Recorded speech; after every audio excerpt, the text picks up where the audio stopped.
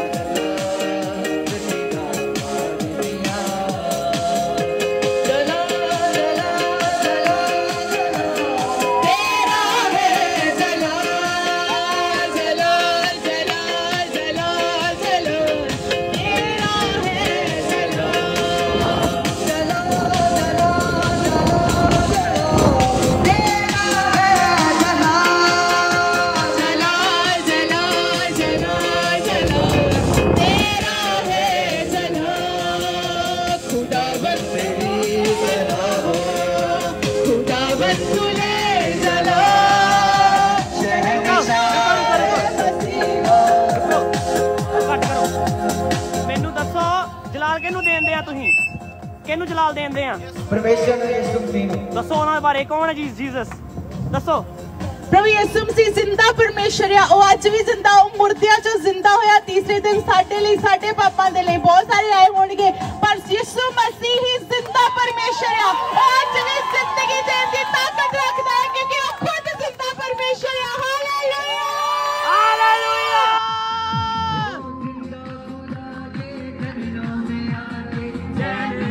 goodbye.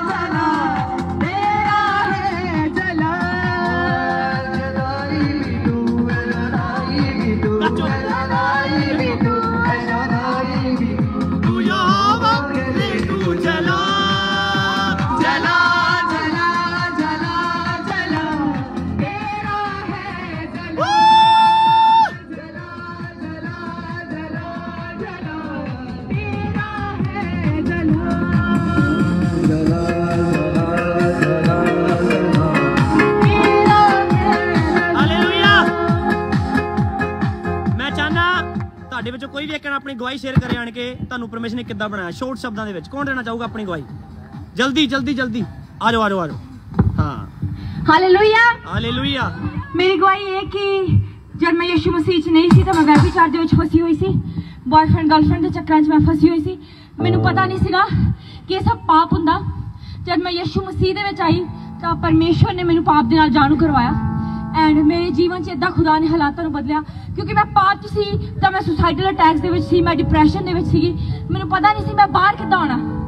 And ਜਦ ਮੈਂ church ਜਾਣਾ ਸਟਾਰਟ ਕੀਤਾ, ਖੁਦਾ ਨੇ ਮੈਨੂੰ ਜੱਜ ਨਹੀਂ ਕੀਤਾ। ਉਹਨੇ ਮੇਰੇ ਪਾਪ ਨੂੰ ਮੇਰੇ ਅੰਦਰੋਂ ਕੱਢਿਆ। ਗਲਤ ਸੰਬੰਧਾਂ ਨੂੰ ਉਹਨੇ ਮੇਰੀ ਜ਼ਿੰਦਗੀ ਚੋਂ ਬਾਹਰ ਕੱਢਿਆ। ਸੁਸਾਈਡਲ ਅਟੈਕਸ ਤੋਂ ਉਹਨੇ ਮੈਨੂੰ ਆਜ਼ਾਦ ਕੀਤਾ। ਐਂਡ ਅੱਜ ਮੈਂ ਫ੍ਰੀ ਹਾਂ। ਪਵਿੱਤਰਤਾ ਦੇ ਵਿੱਚ ਪਰਮੇਸ਼ਵਰ ਦੀ ਸੇਵਾ ਕਰ ਰਹੀ ਐਂਡ ਮੈਂ ਅੱਜ ਇਹੀ ਕਹਿੰਦੀ ਹਾਂ, ਯੂਥ, ਕਿ ਖੁਦਾ ਦੀ ਹੋਲੀਨੈਸ ਦੇ ਪਵਿੱਤਰਤਾ ਦੇ ਵਿੱਚ ਖੁਦਾ ਦੀ ਸੇਵਾ ਕਰਨ। ਅੱਜ ਜਿੰਨੀ ਵੀ ਇੱਥੇ ਯੂਥ ਇਕੱਠੀ ਹੋਈ ਆ ਸਭ ਪਵਿੱਤਰਤਾ ਦੇ ਵਿੱਚ ਆਪਣਾ ਕੀਮਤੀ ਸਮਾਂ ਕੱਢ ਕੇ ਵੀਕਐਂਡ ਤੇ ਐਸ਼ ਨਾ ਕਰਕੇ ਆਰਾਮ ਨਾ ਕਰਕੇ ਕਲੱਬਾਂ 'ਚ ਨਾ ਜਾ ਕੇ ਨਸ਼ੇ ਨਾ ਕਰਕੇ ਅੱਜ ਅਸੀਂ ਪਰਮੇਸ਼ਵਰ ਦੀ ਮਹਿਮਾ ਕਰ ਰਹੇ ਹਾਂ ਵਡਾਈ ਕਰ ਰਹੇ ਹਾਂ ਐਂਡ ਖੁਦਾ ਨੇ ਸਾਨੂੰ ਇਹ ਪ੍ਰਿਵਿਲੇਜ ਦਿੱਤਾ। ਸੋ ਮੈਂ ਖੁਦਾ ਦਾ ਧੰਨਵਾਦ ਕਰਦੀ ਹਾਂ। ਸਭ ਬੋਲੋ ਹਾਲੇਲੂਇਆ ਹਾਲੇਲੂਇਆ ਹਾਲੇਲੂਇਆ ਮੈਂ ਚਾਹਨਾ ਸਿਸਟਰ ਪੂਜਾ ਤੁਸੀਂ ਜਦੋਂ ਕੈਨੇਡਾ ਆਏ ਆਪਣਾ ਹਾਲ ਬਿਆਨ ਕਰੋ ਤੁਹਾਡੀ ਜ਼ਿੰਦਗੀ ਕਿੱਦਾਂ ਦੀ ਹੋ ਚੁੱਕੀ ਸੀ? ਤੁਹਾਡੀ ਜ਼ਿੰਦਗੀ 'ਚ ਕੀ ਹੋਇਆ ਤੇ ਤੁਸੀਂ ਅੱਜ ਖੁਸ਼ ਆ? ਵਾਟ ਇਜ਼ ਦੈਟ ਕਿਉਂ ਇੰਨੀ ਖੁਸ਼ੀ ਆ? ਦੱਸੋ। ਮੈਂ ਸਭ ਨੂੰ ਦੱਸਣਾ ਚਾਹੁੰਦੀ ਆ ਕਿ ਕੈਨੇਡਾ ਬਹੁਤ ਵਧੀਆ ਲੱਗਦਾ ਕਿ ਆਪਾਂ ਕੈਨੇਡਾ ਆਏ ਆ ਪਰ ਇੱਥੇ ਆ ਕੇ ਮੈਂ ਪਰਮੇਸ਼ਰ ਤੋਂ ਦੂਰ ਹੋ ਗਈ ਸੀ ਤੇ ਮੇਰੀ ਜ਼ਿੰਦਗੀ ਇੰਨੀ ਬੱਤਰ ਹੋ ਗਈ ਸੀ, ਮੈਨੂੰ ਲੱਗਦਾ ਸੀ ਮੈਂ ਗਲਤ ਜਗ੍ਹਾ ਤੇ ਆ ਗਈ ਆ ਪੈਸਾ ਵੀ ਹੈਗਾ, ਪਰ ਪਰਮੇਸ਼ਰ ਅਗਰ ਤੁਹਾਡੀ ਜ਼ਿੰਦਗੀ 'ਚ ਨਹੀਂ, ਤਾਂ ਉਹ ਪੈਸਾ ਤੁਹਾਨੂੰ ਸ਼ਾਂਤੀ ਨਹੀਂ ਦੇ ਸਕਦਾ। ਉਹ ਪੈਸਾ ਤੁਹਾਨੂੰ ਜ਼ਿੰਦਗੀ ਨਹੀਂ ਦੇ ਸਕਦਾ। ਬਹੁਤ ਸਾਰੇ ਲੋਕ ਅੱਜ ਮਿਲੀਨੀਅਰ ਆ, ਜਿਨ੍ਹਾਂ ਕੋਲ ਇੰਨਾ ਪੈਸਾ ਆ, ਪਰ ਉਹਨਾਂ ਦੇ ਅੰਦਰ ਝਾਕ ਕੇ ਦੇਖੋ ਕਿ ਉਹ ਚੈਨ ਦੀ ਨੀਂਦ ਕਦੀ ਸੁੱਤੇ ਆ, ਕਿ ਉਹਨਾਂ ਦੀ ਫੈਮਿਲੀ 'ਚ ਕੋਈ ਸ਼ਾਂਤੀ ਹੈਗੀ ਆ, ਕਿ ਉਹਨਾਂ ਨੇ ਕਦੀ ਬੈਠ ਕੇ ਪਰਮੇਸ਼ਰ ਹੀ ਪ੍ਰੇਮ ਆ ਪਰਮੇਸ਼ਰ ਹੀ ਸ਼ਾਂਤੀ ਆ ਔਰ ਉਹ ਸ਼ਾਂਤੀ ਮੈਨੂੰ ਪਰਮੇਸ਼ਰ ਨੇ ਦਿੱਤੀ ਜਦੋਂ ਮੈਂ ਇੱਥੇ ਆਈ ਤੇ ਮੈਂ ਪਾਸਟਰ ਦਾ ਪ੍ਰੀਚ ਸੁਣਿਆ ਇੱਕ ਦਿਨ ਮੈਂ ਕੰਮ ਤੇ ਜਾਂਦੀ ਸੀਗੀ ਔਰ ਮੈਂ ਇੱਥੇ ਪਰਮੇਸ਼ਰ ਨਾਲ ਗੱਲ ਕਰਦੀ ਸੀ ਕਿ ਪਰਮੇਸ਼ਰ ਸ਼ਾਇਦ ਮੈਂ ਗਲਤ ਜਗ੍ਹਾ ਤੇ ਆ ਗਈ ਆ ਮੈਂ ਤੇਰੇ ਤੋਂ ਬਹੁਤ ਦੂਰ ਹੋ ਗਈ ਆ ਪਰ ਪਰਮੇਸ਼ਰ ਨੇ ਮੈਨੂੰ ਉਸੇ ਹੀ ਦਿਨ ਆਨਸਰ ਦਿੱਤਾ ਸੀ ਕਿਉਂ? ਕਿਉਂਕਿ ਮੈਨੂੰ ਲੱਗਦਾ ਸੀ ਉਹ ਮੇਰੇ ਤੋਂ ਦੂਰ ਹੋ ਗਿਆ, ਪਰ ਉਹ ਮੇਰੇ ਤੋਂ ਕਦੀ ਦੂਰ ਨਹੀਂ ਸੀ ਹੋਇਆ। ਮੇਰੀ ਕੌਨਸ਼ੀਅਸ ਦੇ ਵਿੱਚ ਉਹ ਦੂਰ ਹੋ ਗਿਆ ਸੀ, ਪਰ ਉਹਨੇ ਤਾਂ ਮੈਨੂੰ ਮੇਰੇ ਸਾਹਾਂ ਤੋਂ ਵੀ ਨੇੜੇ ਸੀਗਾ। ਉਹਨੇ ਮੈਨੂੰ ਕਦੀ ਨਹੀਂ ਛੱਡਿਆ ਸੀ। ਔਰ ਅੱਜ ਮੈਂ ਇਸ ਜਗ੍ਹਾ ਤੇ ਖੜ ਕੇ ਗਵਾਹੀ ਦਿੰਦੀ ਆ ਸਭ ਨੂੰ, ਅੱਜ ਮੇਰੀ ਜ਼ਿੰਦਗੀ ਮੈਂ ਦੱਸ ਨਹੀਂ ਸਕਦੀ ਪਰਮੇਸ਼ਰ ਨੇ ਮੈਨੂੰ ਕਿੰਨਾ ਪਿਆਰ ਕੀਤਾ ਆ। ਜਦੋਂ ਮੈਨੂੰ ਸਭ ਛੱਡ ਗਏ ਸੀਗੇ, ਯਹੋਵਾ ਪਰਮੇਸ਼ਰ ਨੇ ਮੈਨੂੰ ਕਦੀ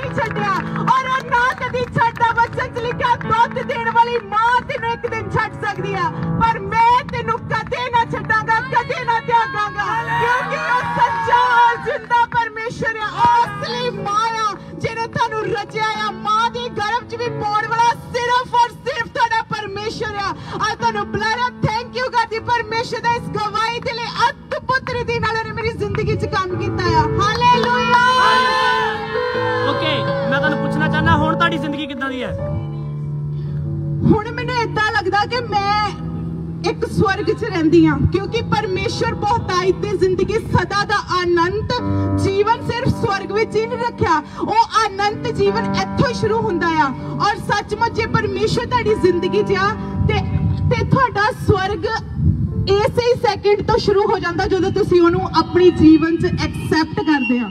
ਆਮੀਨ ਆਮੀਨ ਓਕੇ ਕੋਈ ਹੋਰ ਕੋਈ ਦੇਣਾ ਚਾਹੁੰਦਾ? One more person hmm okay ਚਲੋ ਜਲਦੀ ਜਲਦੀ। ਕੁਇਕਲੀ ਵਿਦਿਨ 2 ਮਿੰਟਸ ਓਕੇ ਹਾਂਜੀ ਹਾਲੇਲੂਇਆ ਸਭ ਨੂੰ ਜੈ ਮਸੀਹ ਕੀ ਸੋ ਮੈਂ ਆਪਣੇ ਜੀਵਨ ਦੀ ਗਵਾਹੀ ਦੇਣਾ ਚਾਹੁੰਦਾ। ਮੈਂ 2010 ਦੇ ਵਿੱਚ ਮੈਨੂੰ ਖੁਦਾ ਨੂੰ ਮੈਂ ਜਾਣਦਾ ਸੀਗਾ ਬਟ ਇੰਨੀ ਚੰਗੀ ਤਰ੍ਹਾਂ ਨਹੀਂ ਜਾਣਦਾ ਸੀ, ਇੰਨੀ ਨੇੜਿਓਂ ਨਹੀਂ ਜਾਣਦਾ ਸੀਗਾ। ਪਰ ਪਰਮੇਸ਼ਵਰ ਤੋਂ ਦੂਰ ਸੀਗਾ। ਮੈਨੂੰ ਜੌਂਡਿਸ ਹੋ ਗਿਆ। ਜੌਂਡਿਸ ਹੋਣ ਦੇ ਕਰਕੇ ਮੈਂ ਹਸਪੀਟਲਾਈਜ਼ ਹੋ ਗਿਆ। ਤੇ ਮੇਰੇ ਪਰਮੇਸ਼ਵਰ 'ਚ, ਮੇਰੇ ਜੀਵਨ 'ਚ ਪਰਮੇਸ਼ਵਰ ਨੇ ਕੰਮ ਕਰਨਾ ਸੀ। ਤੇ ਹਸਪੀਟਲ ਤੋਂ ਮੈਂ ਬਹੁਤ ਦੁਖੀ ਸੀਗਾ, ਕਿਉਂਕਿ 2 ਮਹੀਨੇ ਤੱਕ ਹਸਪੀਟਲ ਰਿਹਾ। ਮੈਨੂੰ ਜੌਂਡਿਸ ਹੋ ਗਿਆ ਡਾਕਟਰ ਦਵਾਈਆਂ ਦੇਈ ਜਾਣ ਬਟ ਮੈਂ ਚਾਹੁੰਦਾ ਸੀਗਾ ਕਿ ਮੈਂ ਇਹਨਾਂ ਚੀਜ਼ਾਂ ਤੋਂ, ਇਹਨਾਂ ਚੀਜ਼ਾਂ ਤੋਂ ਛੁਟਕਾਰਾ ਪਾਵਾਂ। ਸੋ ਮੈਂ ਪਰਮੇਸ਼ਰ ਨੂੰ ਜਾਣਿਆ ਪਰਮੇਸ਼ਰ ਦੇ ਨਾਮ ਵਿੱਚ ਬਪਤਿਸਮਾ ਲਿਆ। ਸੋ ਜਿਸ ਦਿਨ ਮੈਂ ਬਪਤਿਸਮਾ ਲਿਆ ਪਰਮੇਸ਼ਰ ਦੇ ਨਾਮ ਵਿੱਚ ਉਸ ਰਾਤ ਹੀ ਮੈਨੂੰ ਡ੍ਰੀਮ ਆਇਆ ਕਿ ਖੁਦਾ ਨੇ ਮੇਰੇ ਸੁਪਨੇ 'ਚ ਆ ਕੇ ਜਿੰਨੇ ਵੀ ਸ਼ੈਤਾਨ ਸੀਗੇ ਸਾਰੇ ਪਰਮੇਸ਼ਰ ਨੇ ਤਲਵਾਰ ਨਾਲ ਵੱਢ ਛੜੇ। ਤੁਹਾਨੂੰ ਕਿਸੇ ਨੇ ਪੈਸੇ ਨਹੀਂ ਦਿੱਤੇ? ਨਹੀਂ ਜੀ ਮੈਨੂੰ ਕਦੀ ਇਦਾਂ ਨਹੀਂ ਕਿ ਪੈਸੇ ਲੈ ਲਓ ਤੇ ਧਰਮ ਇੱਧਰ ਆ ਜਾਓ। ਨਹੀਂ ਮੈਨੂੰ ਜੀ ਕਦੀ ਮਿਲਿਆ ਜੀ। ਓਕੇ ਤੁਹਾਨੂੰ ਪਰਮੇਸ਼ਰ ਨੇ ਹੀਲ ਕੀਤਾ। ਹਾਂਜੀ। ਅੱਜ ਤੁਸੀਂ ਦੇਖਣ ਵਾਲਿਆਂ ਨੂੰ ਜਿਹੜੇ ਇੱਥੇ ਮੌਜੂਦ ਆ ਸਾਰਿਆਂ ਨੂੰ ਕੀ ਕਹਿਣਾ ਚਾਹੁੰਦੇ ਹੋ? ਮੈਂ ਇਹਨਾਂ ਨੂੰ ਇਹੀ ਦੱਸਣਾ ਚਾਹੁੰਦਾ ਕਿ ਪਰਮੇਸ਼ਵਰ ਜਿਹੜਾ ਆ ਉਹ ਜੀਵਿਤ ਪਰਮੇਸ਼ਵਰ ਆ। ਜੇ ਤੁਸੀਂ ਜੀਵਿਤ ਪਰਮੇਸ਼ਵਰ ਨੂੰ ਜਾਣੋਗੇ ਤਾਂ ਹੀ ਉਹ ਤੁਹਾਡੇ ਮਰੇ ਹੋਏ ਜੀਵਨ ਨੂੰ ਜ਼ਿੰਦਾ ਕਰ ਸਕਦਾ ਵਾ। ਜੇ ਤੁਸੀਂ ਇੱਧਰ ਉੱਧਰ ਭਟਕਦੇ ਰਹੇ ਤੁਹਾਡੀ ਸਾਰੀ ਜ਼ਿੰਦਗੀ ਲੰਘ ਜਾਣੀ ਹੈ ਕਿਉਂਕਿ ਇਨਸਾਨ ਜਿਹੜਾ ਆ ਜਨਮ ਤੋਂ ਜਦੋਂ ਜਦੋਂ ਬੱਚਾ ਹੁੰਦਾ ਆ ਉਹਨੂੰ ਦੱਸਿਆ ਜਾਂਦਾ ਹੈ ਕਿ ਤੂੰ ਇਹਨੂੰ ਮੰਨਣਾ ਆ ਉਹਦੇ ਉੱਤੇ ਥੋਪਿਆ ਜਾਂਦਾ ਹੈ ਕਿ ਇਹ ਬਾਬਾ ਜੀ ਆ ਜਾਂ ਜੋ ਵੀ ਆ ਬਟ ਬੰਦੇ ਦੀ ਸਾਰੀ ਜ਼ਿੰਦਗੀ ਲੰਘ ਜਾਂਦੀ ਆ ਉਹ ਕਦੀ ਆਪਣਾ ਦਿਮਾਗ ਨਹੀਂ ਲੜਾਉਂਦਾ ਕਿ ਇਸ ਪਰਸਨ ਨੂੰ ਮੈਂ ਪੂਜਦਾ ਪਿਆ ਆ ਬਟ ਇਹਦੇ ਪਿੱਛੇ ਰੀਜ਼ਨ ਕੀ ਆ? ਪਰ ਪਰਮੇਸ਼ਵਰ ਤੁਹਾਨੂੰ ਤੁਹਾਡੀ ਹੁਣ ਜ਼ਿੰਦਗੀ ਕਿੱਦਾਂ कोई एनर्जी जो डोंट जोडियस जो है और तो ठीक है तुम तो? हाँ जी मैं बिल्कुल आज़ाद हूँ आर हील्ड यस ज़ोर बोलो हालेलुया हालेलुया अपने खाटा साहब आप लास्ट में एक प्रेयर करनी बस एक सॉन्ग गावांगे मेरे मांगने से ज़्यादा मेरे सोचने से अच्छा मैंने पाई है आशीष यीशु से। मेरे मांगने से ज्यादा मेरे सोचने से अच्छा अपना था उठाओ ਆਪਾਂ ਪ੍ਰਾਰਥਨਾ ਕਰਦੇ ਬ੍ਰੈਂਪਟਨ ਦੇ ਲਈ ਇਸ ਕੰਟਰੀ ਦੇ ਵਿੱਚ ਕੈਨੇਡਾ ਵਿੱਚ ਇਸ ਸਿਟੀ ਦੇ ਵਿੱਚ ਬੇਦਾਰੀ ਆਵੇ ਯਿਸੂ ਮਸੀਹ ਦੇ ਨਾਮ 'ਚ ਹਰ ਰੋਗੀ ਛੁਡਾਇਆ ਜਾਵੇ ਮੈਂ ਇੱਕ ਚੀਜ਼ ਬਹੁਤ ਮਹਿਸੂਸ ਕੀਤੀ ਇੱਥੇ ਕਿ ਲੋਕ ਅਲੋਨ ਫੀਲ ਕਰਦੇ ਆ ਤੁਹਾਡੇ ਪਰਿਵਾਰ 'ਚ 10 ਮੈਂਬਰ ਹੋ ਸਕਦੇ ਪਰ ਤੁਸੀਂ ਅੰਦਰੋਂ ਇਕੱਲੇ ਆ ਤੁਸੀਂ ਬੈਠੇ ਆ, ਪਰ ਤੁਹਾਨੂੰ ਕੋਈ ਸ਼ਾਂਤੀ ਨਹੀਂ ਆ। ਕੋਈ ਤੁਹਾਡੇ ਅੰਦਰ ਸਕੂਨ ਨਹੀਂ ਹੈ। ਪਰ ਯਿਸੂ ਮਸੀਹ ਨੇ ਕਿਹਾ, ਮੈਂ ਤੁਹਾਨੂੰ ਸ਼ਾਂਤੀ ਦੇਣਾ ਆ ਆਮੀਨ ਕਹਿੰਦਾ, ਮੈਂ ਤੁਹਾਨੂੰ ਆਪਣੀ ਸ਼ਾਂਤੀ ਦਿੰਦਾ ਅੱਜ ਯਿਸੂ ਮਸੀਹ ਦੀ ਸ਼ਾਂਤੀ ਇਸ ਸਿਟੀ 'ਚ, ਇਸ ਕੈਨੇਡਾ ਦੇ ਵਿੱਚ ਆਵੇ ਯਿਸੂ ਮਸੀਹ ਨਾਮ ਉਹਦਾ ਆਨੰਦ ਲੋਕਾਂ ਦੇ ਕੰਮ ਕਰੇ ਉਹਨਾਂ ਵਿੱਚ ਆਵੇ ਯਿਸੂ ਮਸੀਹ ਨਾਮ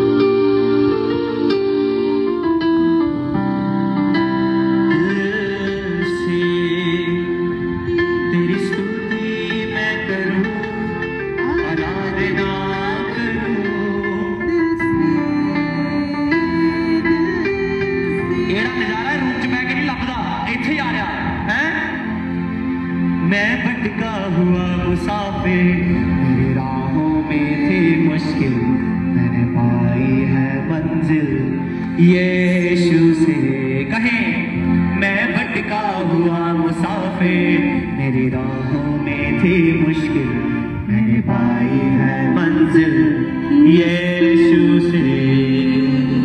मेरे मांगने से ज़्यादा, मेरे सोचने से अच्छा मैंने पाई है आशीष यीशु से। हाले